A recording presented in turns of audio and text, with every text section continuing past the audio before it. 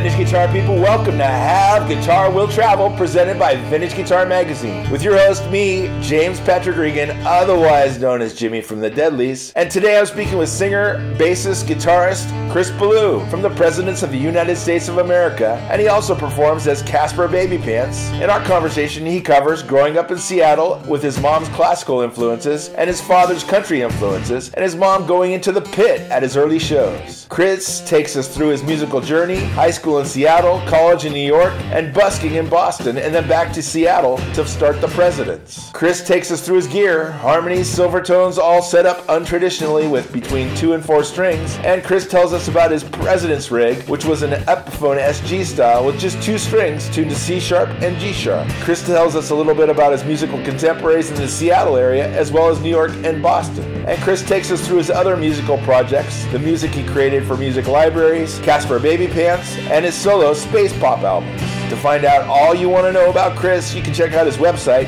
chrisballew.org. That's C H R I S B A L L E W dot O R G. And the website for Caspar Babypants is babypantsmusic.com. That's B A B Y P A N T S M U S I C.com. Please subscribe, like, comment, share, and most of all, review this podcast. I'd really appreciate it. And please support Vintage Guitar Magazine and all the wonderful things they do for us guitar players because they do so many wonderful things for us guitar players. Here's my buddy Chris.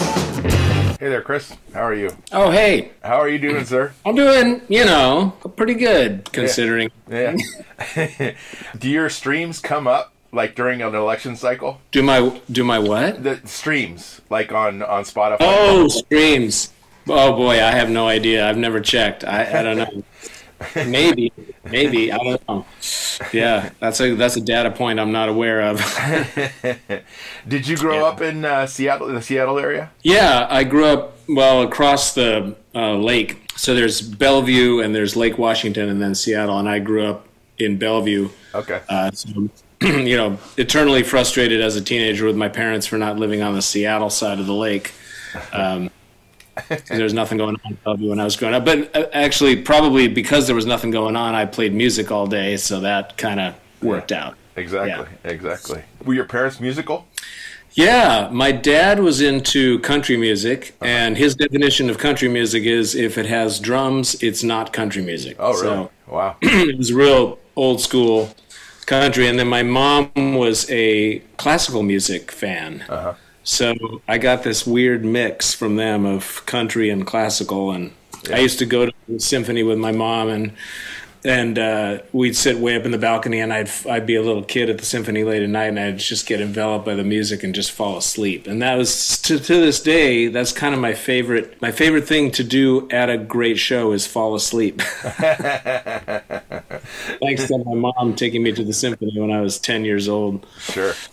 Yeah. Uh, and did you get to see many country acts wi- for your dad? No, actually, no, because uh, I, I don't know. He he wasn't really overt with his country music fandom until I became a successful musician, and then we started kind of sharing that. Toward the end of his life, though, I did manage to take him out to see some live, uh, good old, you know, like hillbilly roots music uh, Sure. in Seattle. So we not until toward the end of his life did we actually step out and see music together. Okay. All right. But he came to he came to see my band a few times. My mom was at every president's show. Really? Right in, right in the pit, just getting getting knocked about and you know she's I think at that time she was 72 73 and she was just right in the thick of it Wow. it was it was kind of distracting I'd be up there playing and I'd see like her getting buffeted around I'd be like oh mom don't don't break your bones Yeah, mom exactly. How how are your knees? I, you did a lot of jumping. Yeah, I did a lot of jumping. They're okay. They're okay. Uh, it's funny you ask because to continue the mom and dad connection, my dad had terrible knees growing up. It was always like dad's knees, dad's knees, and I'm hoping that I uh, don't um, follow in his footsteps. But yeah, so far so good. Knock on knee. Yeah, very good. Uh, were you playing music in high school and stuff? Yeah, a little bit. Let's see. I, I my very first band I started. I think I was 16, and it was a really weird band. And um, I wouldn't even call it a band. Really, we'd never played live, and it was a very odd lineup. But um, so yeah, it, I started at about 16, and then I had a good friend, this guy Dale Pizer, and he and I became a duo, and we we then we started really writing songs. We played a few shows and stuff like that, but it was very casual and and in retrospect very embarrassing when I listen to those recordings. I'm like singing with a fake English accent and playing my synthesizers, and you know it's the '80s. Yeah. I'm fully, I'm fully trying to swim in the new, ro- new romantic waters Uh-huh. with my stupid accent and my, my, uh, you know, monophonic synthesizers. Yeah, right on. But what about in high school? Did you play in like a band in high school? well, that was during high school. That duo was high school. Um, that was the main thing I did was that duo with my friend Dale. Uh huh. so yeah, that was that. Uh, you know, didn't really do any live shows. I think we played it like a you know uh, um, kind of an open mic talent show kind of thing at our school. Yeah. And that was about the extent of it. So. Um, and was was your instrument keyboards at the time, or did you play guitar as well? Yeah, I was keyboards and drum machines, and I had all the MIDI cables and all that. You know, the cutting edge at the time. Um, and, I, and Dale was guitar and bass. He would play bass, some songs guitar and others. Um, but I had picked up a guitar when I was about twelve or thirteen. I had been taking piano lessons from the time I was four until I discovered electric guitar. And my dad had an acoustic guitar, and I remember kind of getting that together and figuring out chords on my own, not looking at a book, but just kind of, oh, that sounds good. That sounds good. That's, um, but then I got an electric guitar, a, a Hondo, a real off-market. Sure. Yeah, it was a Hondo um, Telecaster kind of, and uh, in retrospect, it sounded really good. But even in the, my early days, I took strings off. You know, I in the Presidents, I played a two-string, and our guitar player played a three-string. But even when I first got the guitar, I realized if I took the low, I couldn't really do bar chords. I, in fact, I still can't do a traditional bar chord because. I just, for some reason, couldn't get it to work, and I was impatient. So I took the low E string off, and then I could just do a sort of a bar chord, you know, playing an open A Yeah. kind of thing. Um, so even from an early uh, experience with guitar, I was modifying and you know trying to short circuit the long arc of uh, technique. Exactly. well, and but very Keith Richards of you to take off the E string. Yeah, and I had no idea at the time that that was related to what he he's done. In fact, you know what? I've never played around with that tuning since. Uh, and I, my brother Tim, who's younger than me, he's a songwriter too, and he just uh, strung up one of his guitars that Keith Richards. Uh, it's an open G, right? Yeah, Is what? yeah. yeah. Yeah. And he's texting me like, "This is changing everything and revolutionary. You got to do it." Anyway, I, I need to sit down and uh, string something up.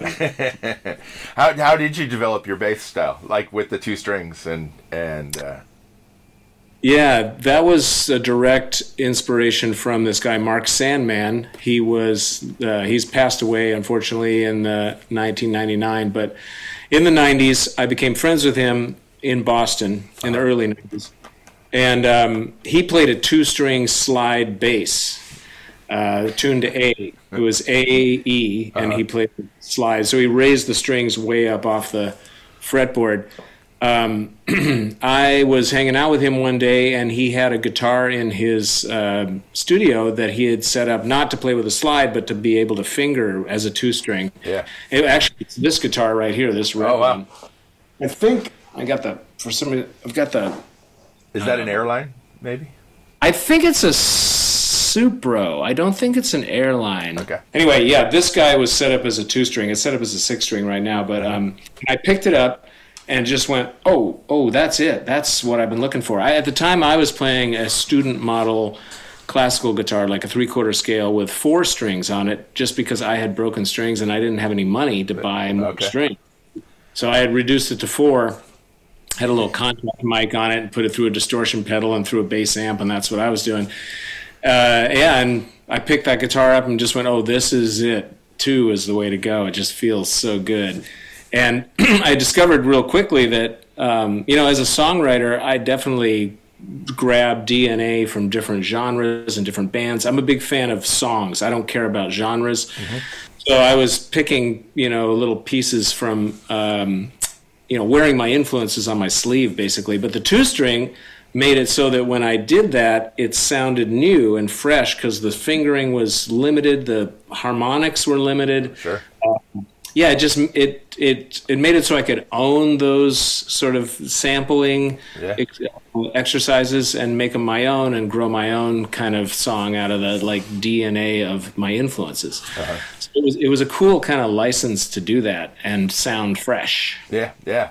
And were you the strings? What were they tuned to? Did you did you change tunings at times, or or how did that? work?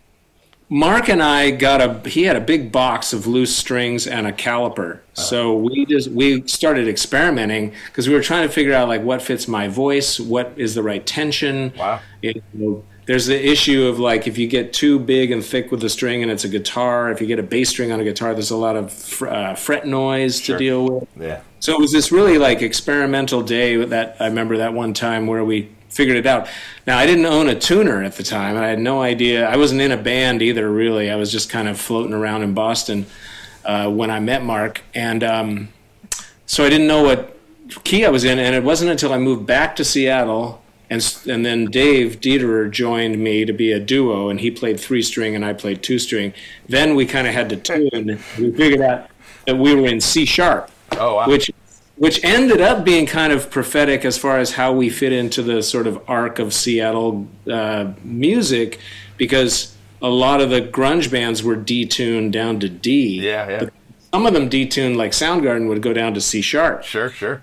So that feel of like C sharp being, you know, um, sort of your baseline, literally. uh it, I think for some weird reason, it sort of helped our um, popularity or something. It helped us kind of feel relevant, maybe in that world. Yeah. Even though we're very different stylistically and lyrically and everything, but there was that commonality of like a detuned uh, guitar that kind of uh, made us dovetail in with the the crest of the wave of grunge. Sure, sure. And, and Yeah. as you mentioned Boston a couple times, how'd you end up in Boston? Oh, I went to well. I grew up in Seattle, but then I wanted to experience the East Coast for uh, college, and I found a great school called SUNY Purchase, State University of New York at Purchase.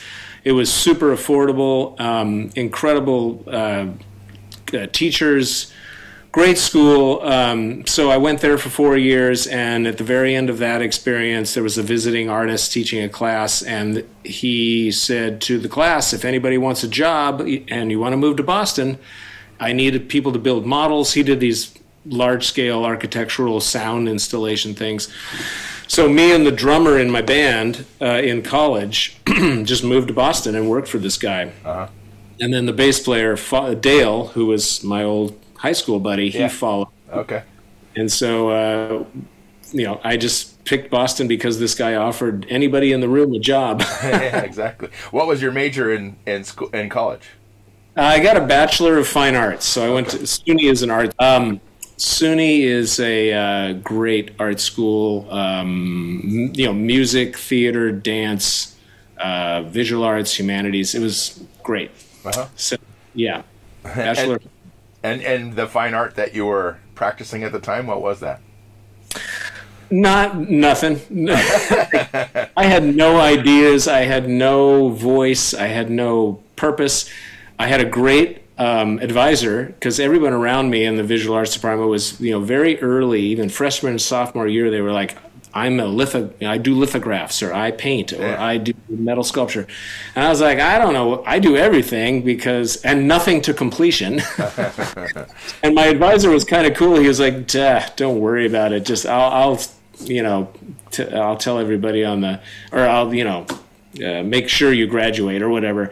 But yeah, I would just melt metal or like do uh, paintings of nothing in particular. It was really I was there to play music. I was playing music, but I didn't want to go to music school. I didn't want to learn Yeah. theory. I just had this gut feeling like I wanted to sort of hunt and peck for my own unique approach, and I just wanted to do trial and error. So. I kind of went to art school as a default, um, but I, I actually in the last five or six years, a couple times I've um, been inspired and I've done a whole arc of visual art that I've had shows and Right on. it's all up on my website chrisballew.org if you want to check it out. Yeah. So yeah, every every so often the visual art um, bug comes back and bites me, but um, and I do my own these days. This music I'm doing currently, I do my own album covers and stuff like that. So Yeah, right on. The before we get into Caspar, while you were in New York and then in Boston, were were was there anything musically inspiring you in those areas, like the Boston bands, uh, New York bands?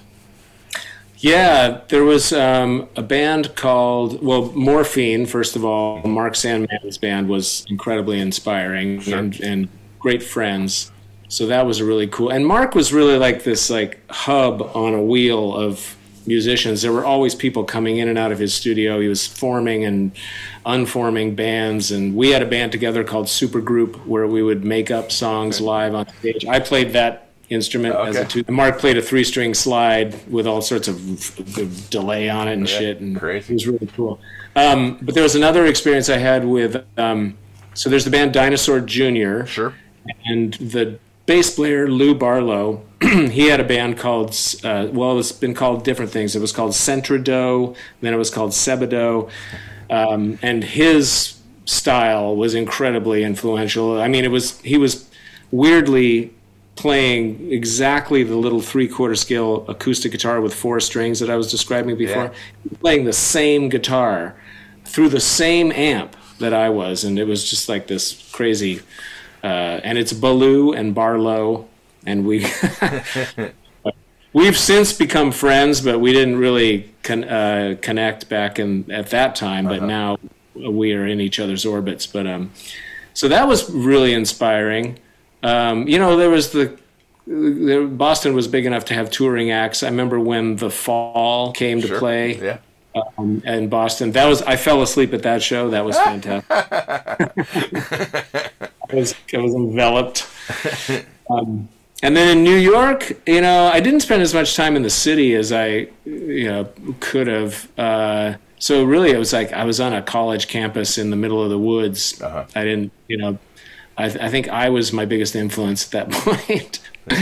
you know, like, but I remember going down to we played CBGB's. That was Oh, wow. twice. Right me on. and my band, and Hilly Kristal told me he liked my band. So There you go. That is a real like a prize memory Exactly. Exactly. being being in New York in the '80s. So I guess CBGB's was an influence. Oh yeah, for sure. It sounds like all these musical projects were um, music for art's sake. Like, at, at what point did it did it? Well, I mean, at what point were you like? Did you want to become a rock star? oh yeah, I think from the very beginning. Actually, I just remembered an, an influence from New York. Okay. They Might Be Giants. Oh yeah, of course.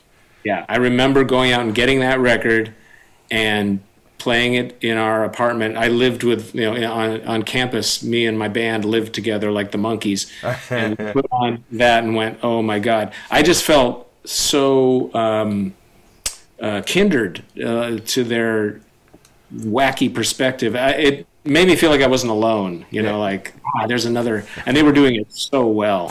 Anyway, so that was a New York influence. Yeah. Yeah, rock star. I think from. I mean, I have pictures of me with my hair all like I took my mom's hairspray and tried to make like a crazy flock of seagulls mohawk. Sure. When I was maybe eleven, something like that, and I'm playing a tennis racket, Uh-huh. sunglasses on. So I think yeah, around eleven or twelve is when I started thinking, you know, I I don't I don't think I want to be a concert pianist. I think I want to rock out. Yeah. Oh yeah, and then but you know, interestingly, like even from an early age, I could. There's this dynamic that started early, which was a DIY kind of idea. Like, don't wait for permission to do what you want to do. Do it yourself. That's where playing, like in Boston, I busked on the street and in the subway, and in New York, I did that too. Um, just you know, I'm not going to wait around to get a show. I'm just going to go make a show. Yeah. Yeah. So it's funny because like this desire to be sort of a rock star was immediately tempered with like uh, this feeling of wanting to be small and you know my sphere of influence like acknowledging that my sphere of influence is very sh- small and tight and and I'm not gonna like take over the world part of it was probably protection, like protecting myself from the disappointment. Yeah.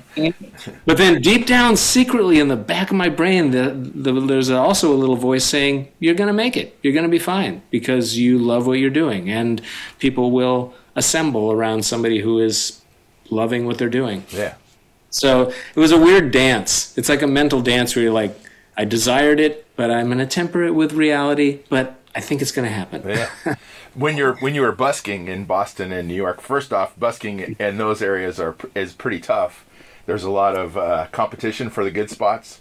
But Yeah. w- were you playing songs that you had made up, or were you playing songs? I mean, were you playing Johnny Cash? What were you like? You're going to get more tips if you're playing stuff people recognize. Yeah, no, I was I was absolutely playing originals uh, because it felt like a really great um, sort of uh, testing ground for songs because people are busy, they're on their way elsewhere, and if they stop and even if they give you money, then I would make a note like, all right, this song is working. That's, that's that dynamic is is connecting. So I really used it as a uh, proving ground for songwriting. I did a couple covers. I used to cover "You Be Illin" by Run DMC. I was so my buddy uh, that I grew up with, Dave Thiele, and I were so into "Raising Hell" when it came out. I mean, we just memorized that entire record. So. Um, yeah, and then when when I first got to Boston, somebody uh, I asked somebody like, well, where, "Where's the good?" You know, I don't know which subway platform is going to be like optimal for music, and they're like, "Oh, you want the outbound Orange Line?" So I went down to the outbound Orange Line. Turns out the outbound Orange Line goes out to Dorchester, Jamaica Plain. It's a lot of people of color. Sure. And I'm standing there, this little skinny, bald, white kid playing Run DMC covers on a Sears guitar. the, the kind of guitar that the case was the amplifier. Yeah, of course. Yeah. I got I got it for 25 bucks in upstate New York at a Goodwill. Right on. And, uh, yeah, love that guitar.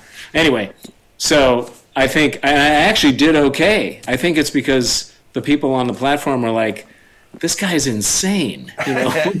he's doing? You know, he, he's obviously, uh, you know, lost. So let's give him some money so he can get where he needs to go. So, yeah, I did that. And, and so now, what brought you back to Seattle, and how did you guys start the the Presidents?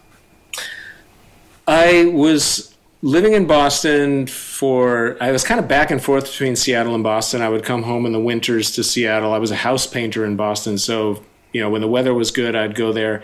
I you know the early early 90s are real hazy for me when I try to reconstruct my movement. Yeah, kind of like Seattle, Boston, Seattle, Boston.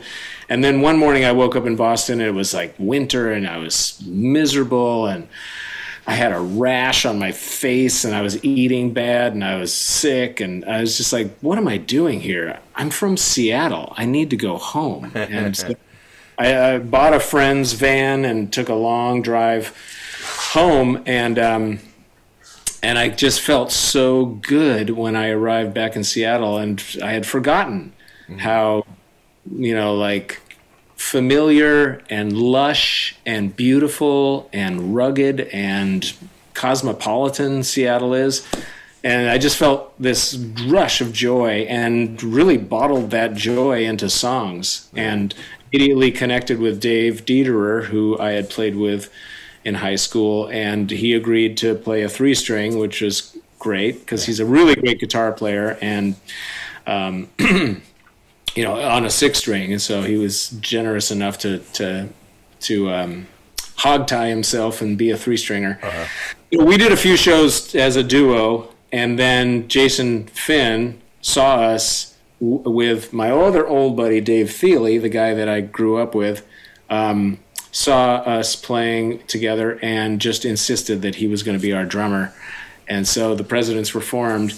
And a lot of the songs, some of the songs on the Presidents were around when I was busking in Boston. And um, so, uh, you know, it was a, it, that body of work took a while to kind of coalesce and come together. It was a kind of lifetime's worth of trial and error. And Sure. so really great but we I, we- I felt like this version I'd had you know bands off and on, but this version of uh, the band uh, that became the Presidents with Dave and Jason. They're such great musicians that it just was like, oh, there we go. Now I can actually dig in and invest in this because we're not just a college band or, Sure. uh, you know, not just playing at a school open mic.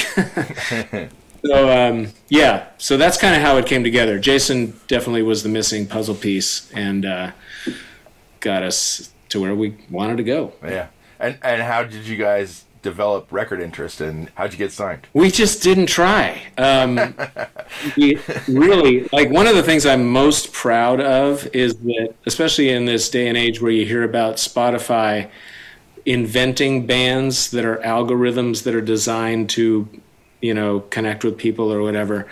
Um, the other end of the spectrum is being a human doing what makes you really feel good, despite how it may reverberate in the world. Sure. And that's what we did. We did this because it made us laugh and made us feel good. We had this very solid rule in the band where if we any one of us looked down at the set list and could identify a song that they were not excited to play, we'd get rid of it. Wow. So the idea was we want to look down at the set list and be excited to play every single song and that's what we kind of i mean because if we were going to do it we wanted to have fun and feel good first of all and then number two be in service to the audience and we present the songs that we were most excited about to them uh-huh. so yeah it was just we just did that Okay. and then without, without us even knowing we played a show during a time when there was a big music festival in Seattle and a whole bunch of industry people were in town.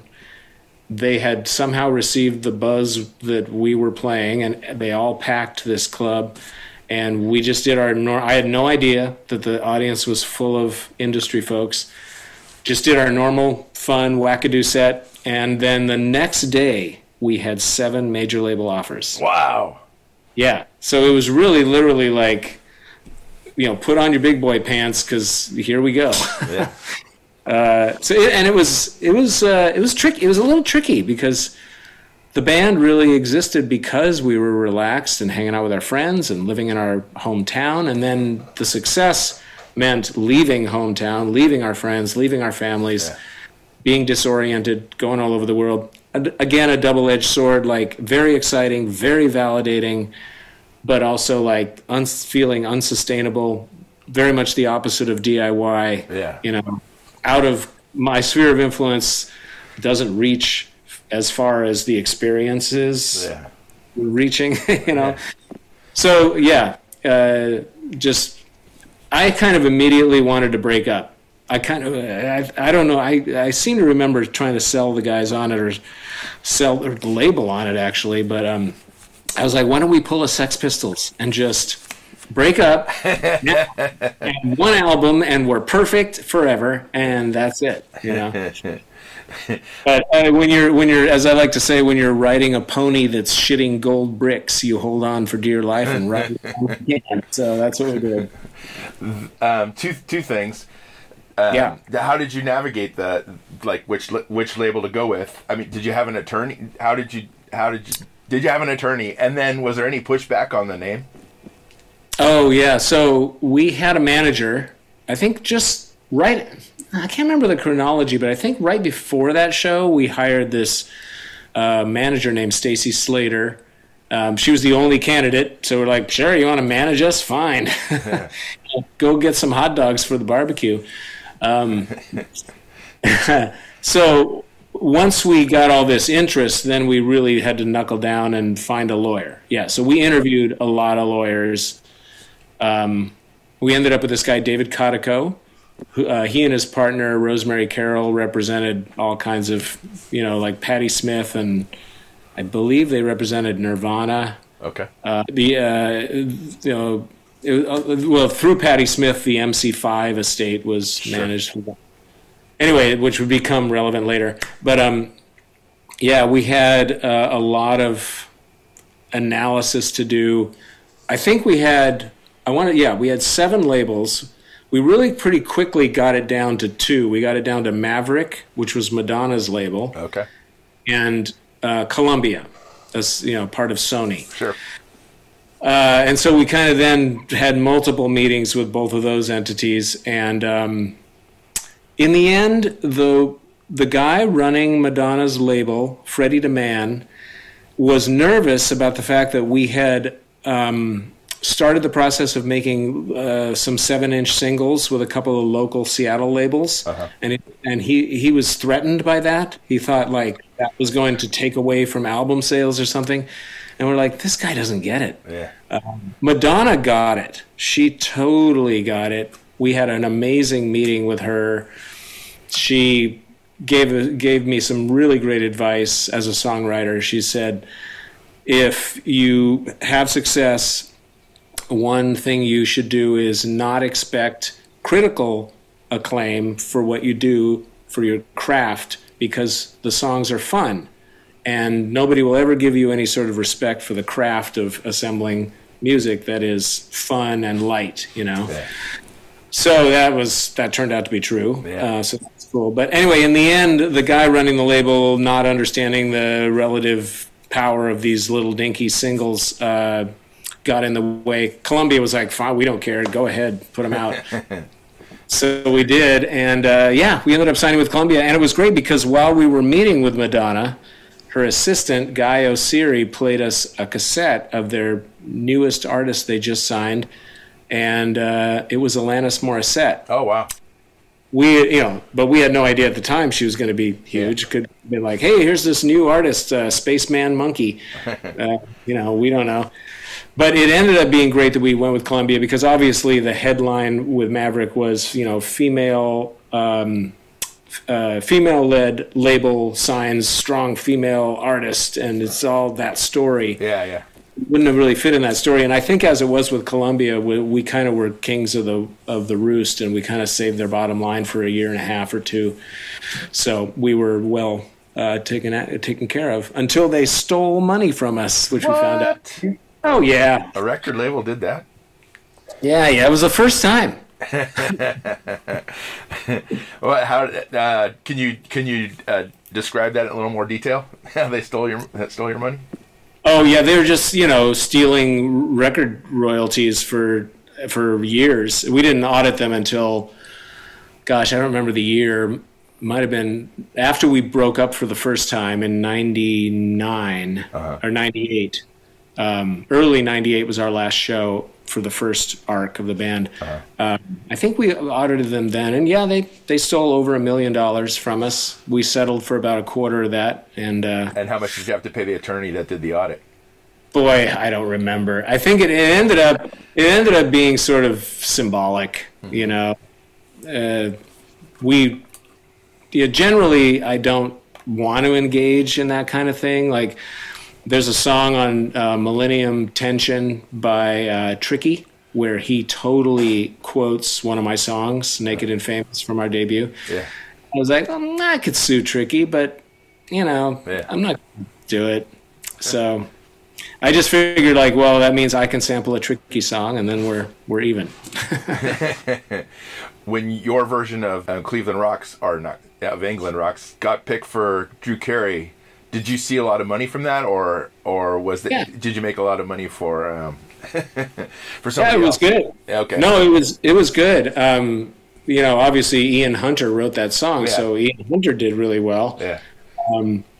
and yeah, we did well. And it was really the moment where my eyes were open to that world of uh, composing for shows, um, you know, licensing music. And I ended up creating like a 700 piece library over the next 10 years that I licensed through a company called Pump Audio in, out of New York.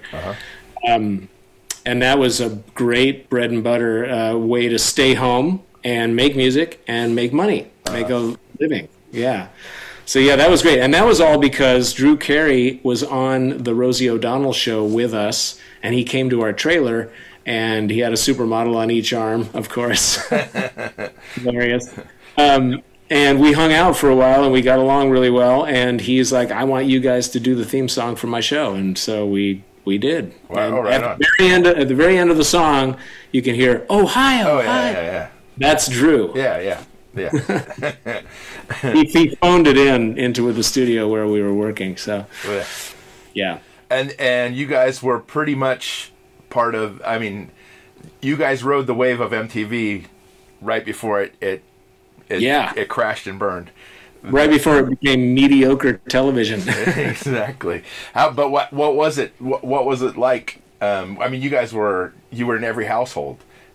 I know it was it was phenomenal. I was uh, present when MTV flicked on. Me and my friend Dale, again the guy that I played music with in high school, we knew when it was coming on. I think it was August first, nineteen eighty, uh, nineteen eighty, I believe. Yeah, maybe eighty one. I can't remember. But anyway, we he Yeah. was eighty, I think. Yeah. Yeah. His family had one of those uh, prototype, like very early projection televisions. Sure. It was like a big console and a big screen. So we, I mean, it was like watching on a movie screen. We would end up, of course, in the years to come, spending countless hours in that basement, waiting for like Shark Attack by Split Enz or something good to come on. Yep. Um, but yeah, we were there. It flicked on. Video killed the radio star was the first song, and we ended up. Presidents ended up kind of making that song our own. It was in the Wedding Singer with Adam Sandler, Okay. and we covered it every show. It was, you know, we kind of hijacked that song, but. Um, yeah, so to then, you know, not too many years later, 13, 14 years on TV, when it mattered, Yeah. was uh, incredible rush. I mean, uh, equal only to the rush of Weird Al playing me in a video. so I've got some good. I've got some good mile markers. You know, like Hilly Kristal telling me he liked my band, being on MTV, having Weird Al play me in a video. I'm like, what? Every so often when I do interviews like this and I start tallying up these little, these little cultural moments I've had, I'm like, shit. Yeah, that's pretty amazing. I know it's weird. And and is- you like you mentioned the the presidents had their first um, like you broke up at the first point in '98, and Yeah. then what brought the band back together?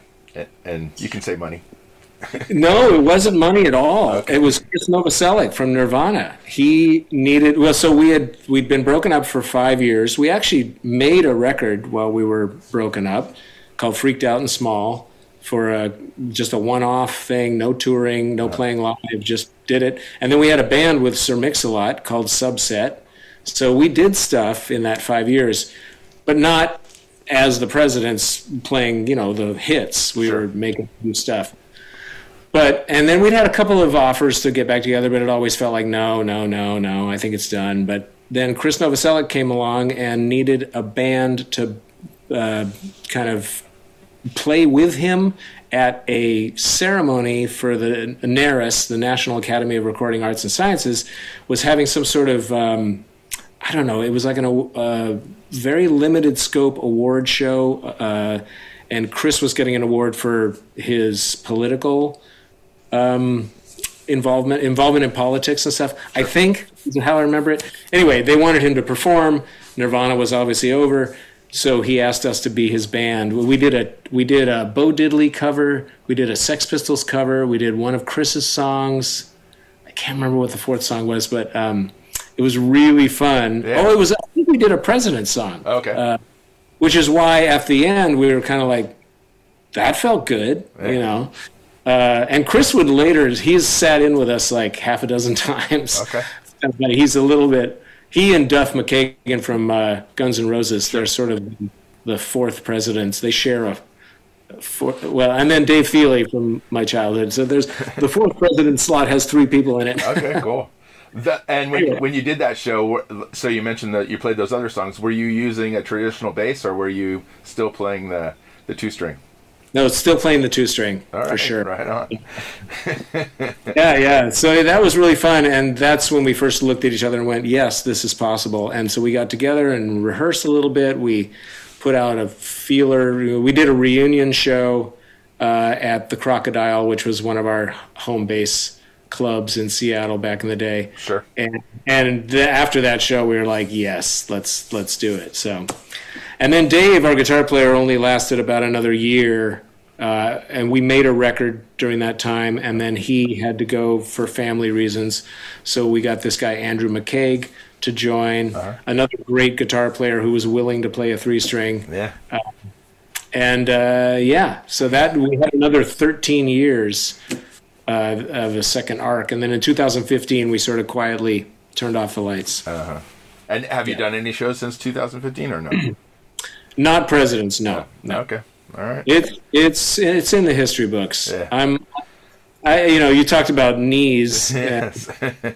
I'd be courting disaster if I did it now. You know, I just I just you know I don't, I want to respect what we achieved. sure, and sure. the energy level that we had was because we were younger people, and you know. Yeah. I like what I- uh, what is that Woody Allen thing? It's like uh, uh, relation, relationships are like sharks; they have to constantly be moving, and what we have here is a dead shark. Something like that. So you you created this music library. Was that is what what what period of time was that?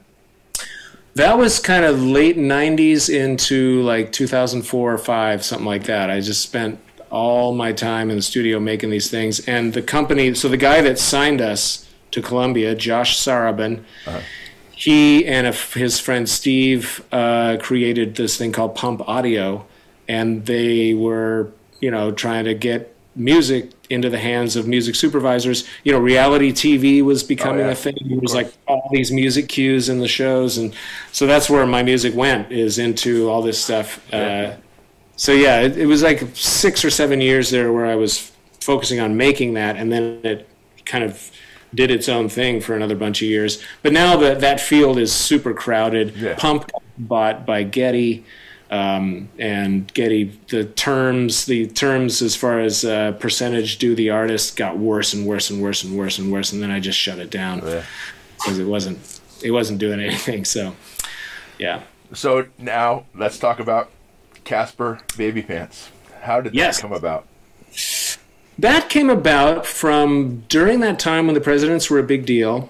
Um, I was hearing a voice in my gut or whatever, kind of a message from the universe saying, Congratulations on what you've achieved, but you're not done.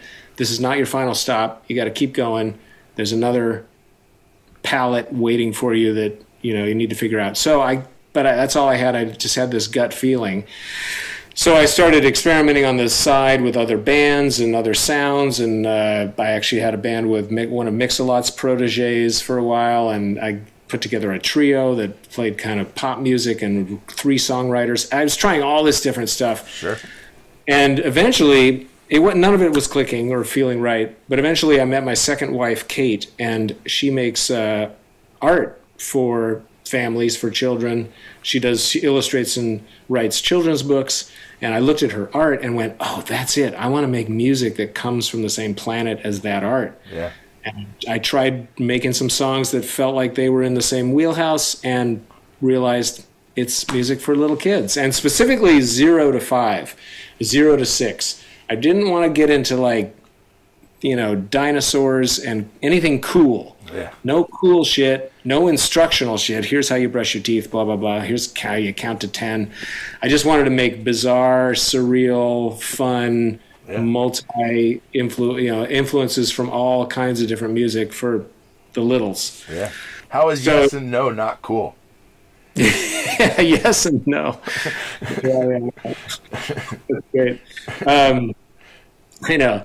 Uh, yeah, I mean that's the thing. By not being cool, I turned out it ended up I was really cool. Yeah. But actually, that that was a feeling I got when I figured out it was supposed to be kids music that I was supposed to be doing.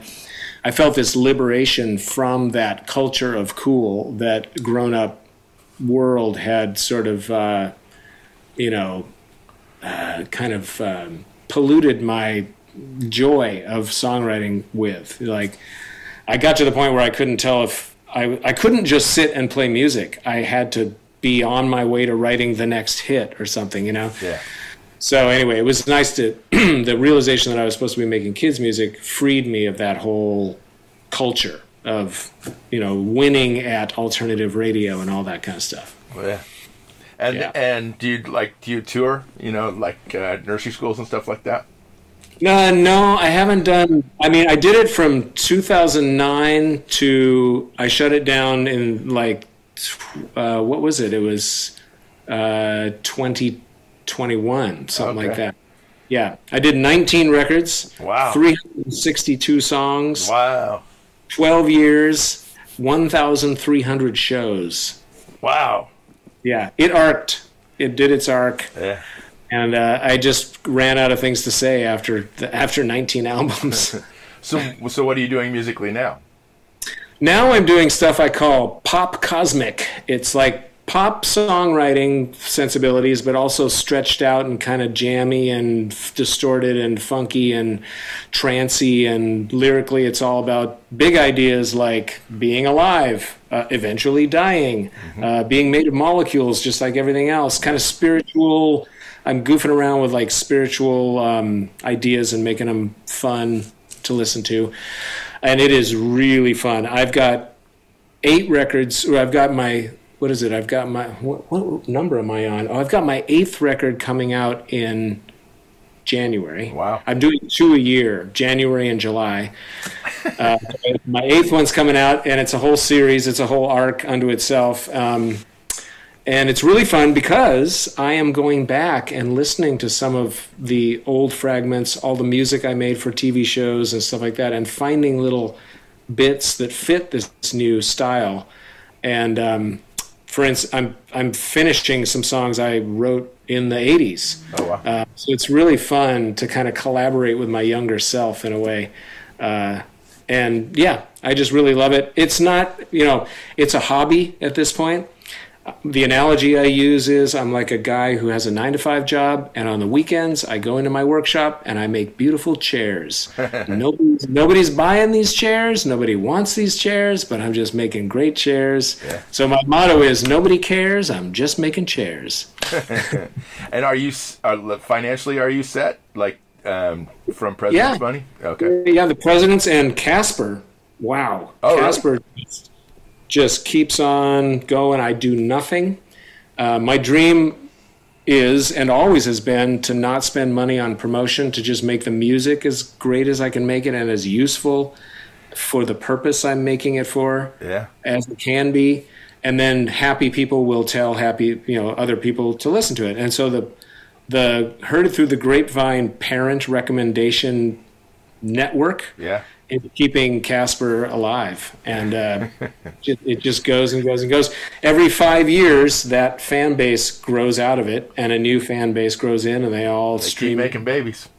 yeah, keep making babies. Yeah, and when those babies grow up, they'll buy the whole exactly. again for their kids, and then they'll discover the presidents. And Yeah. yeah, between the presidents and Caspar, um, I'm able to just be a hobbyist and enjoy myself. And make chairs.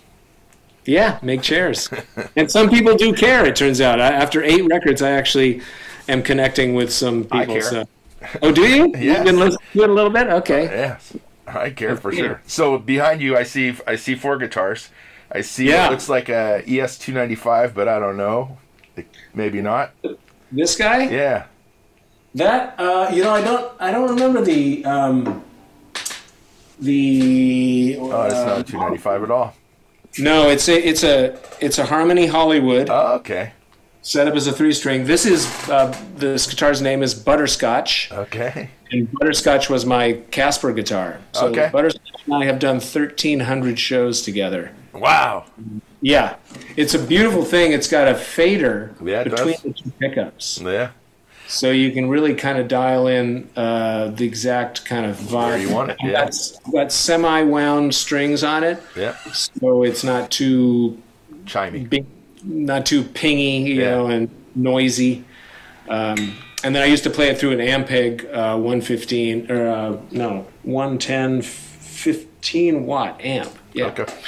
Uh, yeah, so this guy, boy, I mean girl, sorry. Butterscotch, you guy or girl? I can't remember. I used to do a whole thing where Butterscotch would talk and, uh, with the kids. And this guitar is a Kawai. I don't know the model number either, but I got it at a pawn shop in Boston Right on.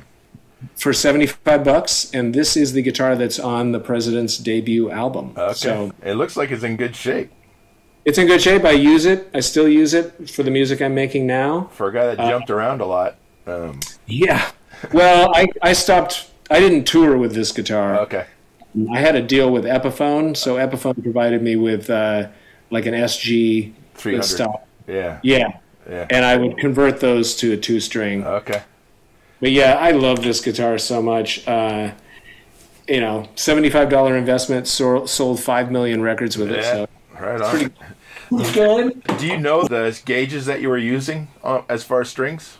Yeah, sixty and thirty-six. Okay. It was tuned C sharp, G sharp. Okay. And then, but the, I think with Butterscotch, it was, what was it, 52, 42, 30, I think, Okay. for the three string. Every guitar is a little different because of the scale. Yeah, yeah. Of course. So kind of, it, it would float around. And this is, you know, up close, this is the guitar that uh, Mark had set up as a two string, Yep. revolutionized everything for me. I, it, got, no, Strangely, it has six strings on it. Yeah, well, yeah. I, I'm I'm back to playing everything now. I play six string. I have a I Oh, have a four string bass, three string, two string. Yeah, so I'm because I'm kind of resurrecting old songs as part of what I'm doing, and Okay. a lot of it's recorded with six string. So this guitar is great. This so when I lived in Boston, I was helping a friend move, Uh-huh. and he pointed to a closed guitar case and said, "Do you want this guitar?" Didn't even see the guitar. Took it. I said yes. Yeah. Took it home, opened it up, and it was this. It was a a, a Harmony Broadway, Yeah. And I recorded so many songs, wrote songs that would become president songs on this guitar. Lost it. Have no idea what happened to it. About five years ago, I was in my favorite records or uh, guitar store, Thunder Road Record, uh, Thunder Road Guitars here in Seattle. Okay. And this was on the wall. I pulled it down, just played like two chords, and went, "That's it. I'll take it." And I don't think it is the exact guitar that I had, but I like to pretend it is. Yeah, of course. Of course. After what would it be like 25 years that guitar found me. Yeah. So anyway, that's the story with that dude. And then this guy is a little harmony harmony stratotone Yes. that uh, this is the guitar I played when I played with Beck. Okay. And that whole bow, bow, bow, bow, bow, that thing Yeah. I'm losing. It wasn't record. This isn't the guitar that the recording was made out of, but when I played live, um, this was the guitar that I played Wow. with Beck. Right on.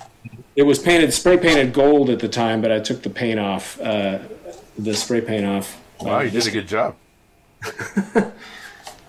Uh, well, you can't really see all the the scratches that I did. I didn't really do the greatest job. My son is a guitar builder and repairer and player, Okay. and he he really should have been the one to take the paint off. Done a better job. Does he? Where does he work at a particular shop, or does he? Does he by himself?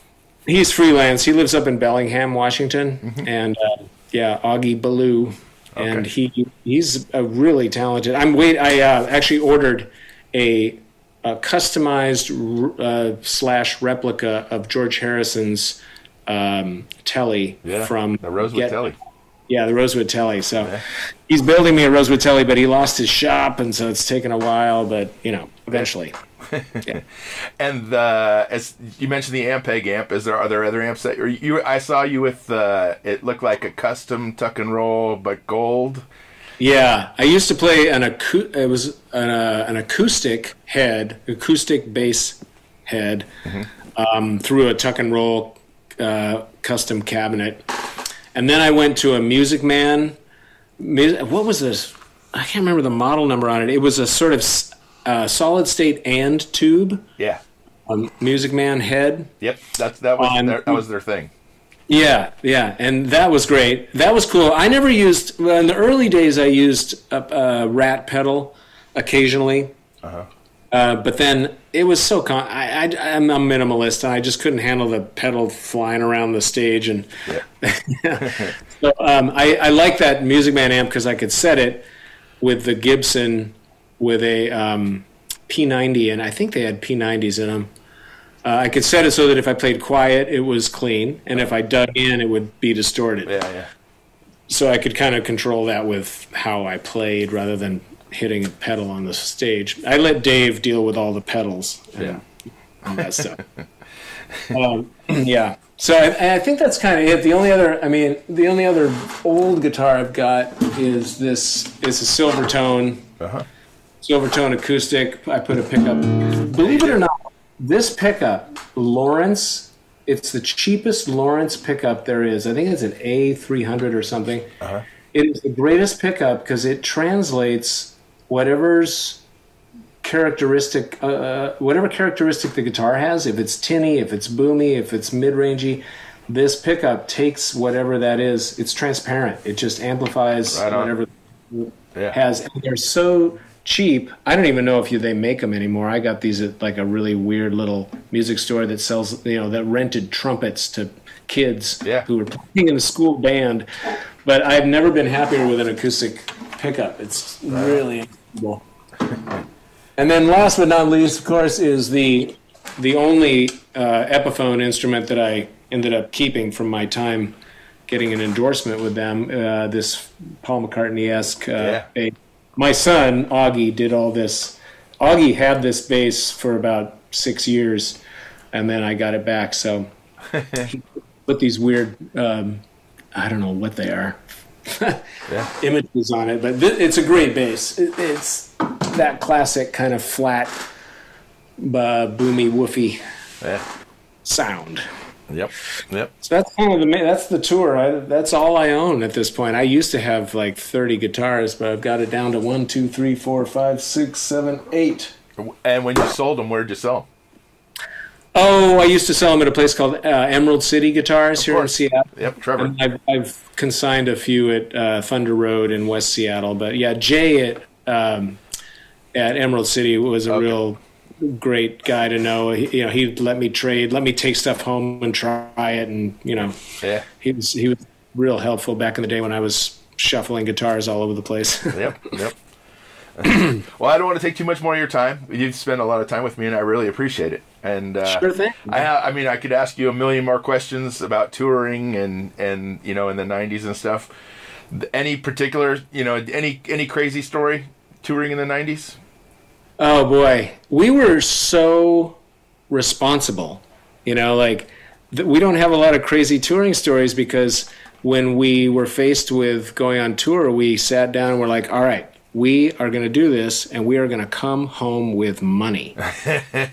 you know, everyone around us was spending all their money on like buses and you know food and taking a chef along and Yes.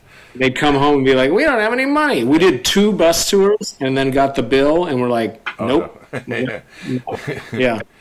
Uh, so we ended up downsizing to like sprinter vans, and uh, you know, we were just heads down. We were workers on tour, man. Um, I mean, you know, the main headline from being on tour is just the thrill of like, say, going to Europe and stepping out on a stage at like Roskilde or Pinkpop and seeing fifty thousand people. You know, like especially when you're the first band on the day, but they've made the effort to come. Yeah. Yeah, it, it- so th- really the big story from touring was just the thrill of it all. Um, you know, I'll probably hang up and remember five stories that I am not remembering. But we, we didn't get up to, you know, we had sort of jobs, right? Like I was creative, the creative part. Dave Dederer was the um, business guy. He could read a contract. Jason was late night PR. He'd go out and get drunk with all the, you know, make make people make the suits feel special and that Sure. kind of thing. So, being the creative guy uh, and you know expending the energy I was expending singing, I had to go to sleep after Yep. a show. Sure. you know? Yep. I, I totally So- understand. Yeah, I mean, but you know, one highlight was playing on the same stage that the Beatles played on in Melbourne, Australia. Wow. Just kind of feel vibe, you know. We were we were kind of uh, yeah, like Australia was pretty storied. I mean, we had to run for cars. You know, there was like a you know, f- a, kind of a mania about the band, and uh, so that resulted in us needing aliases at hotels. We Wow. couldn't use our real names. Yeah, this was just in Australia for just a short amount of time, but. My alias was Paul McCartney. Figured, that would throw him off the scent. Have you ever been approached by any um, political party to to to uh, do anything? No. Yeah. No, the closest we got to that was back in the in the what year was it? I think it was in the '90s. We played an election night special for Bill Maher. Okay.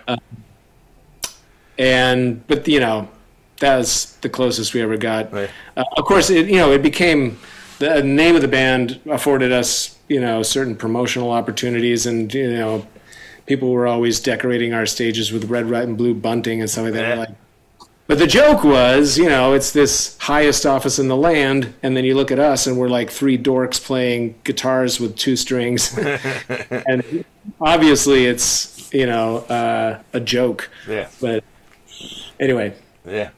Yeah. Well, thank you very much, Chris. I am a fan and of, of everything that you're doing. So, Thank I, you. I appreciate your time. I really appreciate that. Thanks for thanks for uh, listening to me uh, Yeah. spout off. Of For an hour. course, it's it's wonderful. I love it. All right, cool, man. Well, I hope I get to see you in person at some point. Yeah. Uh, you never know. You never know. I'm kind of not really interested in playing live anymore, but uh, never say never is my big motto. Oh, right on. Do a Trump hand. Never say never. Very good.